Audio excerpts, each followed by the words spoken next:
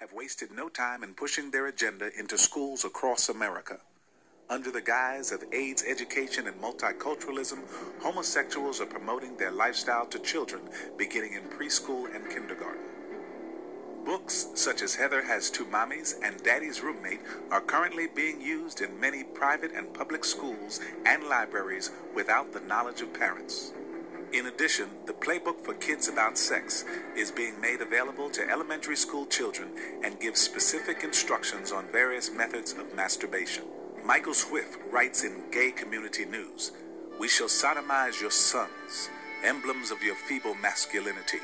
We shall seduce them in your schools, in your dormitories, in your gymnasiums, in your locker rooms, in your sports arenas, in your seminaries, in your youth groups.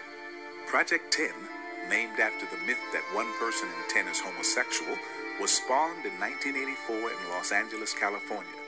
Its goal, according to its lesbian founder, school teacher Virginia Uribe, was to persuade school children, beginning in kindergarten, to accept homosexual behavior as normal and desirable. For her efforts, Uribe was given the Award for Creative Leadership in Human Rights by the National Education Association. The state courts must be used to force the school districts to disseminate accurate information about homosexuality. I mean, they need to hear, the kids need to hear this. They need to hear the latest scientific information on the subject of homosexuality, and that's something that all kids need to hear, not just gay and lesbian kids.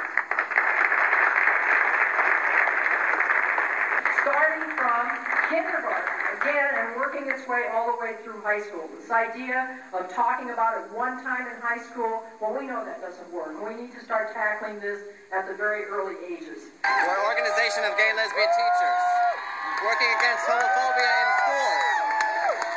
One of the things that sex education does in the public schools is to tell the kids that there is no difference between homosexual lifestyle and heterosexual lifestyle.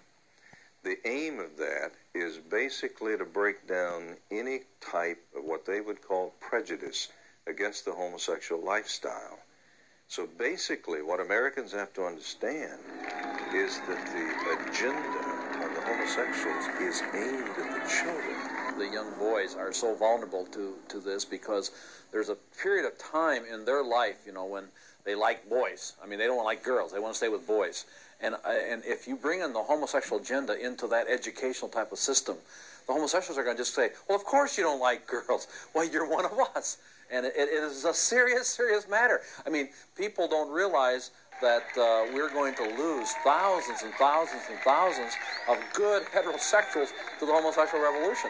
As a school board member, I'm extremely concerned that the homosexual activists across the United States are trying to use public schools and tax dollars to promote their agenda. What they are asking school boards across America to do is bypass the parents.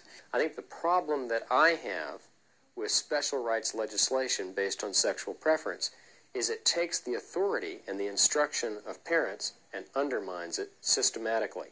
I think that it, it shouldn't be the role of government to teach a child something else in school that is radically different than what they're learning at, at home.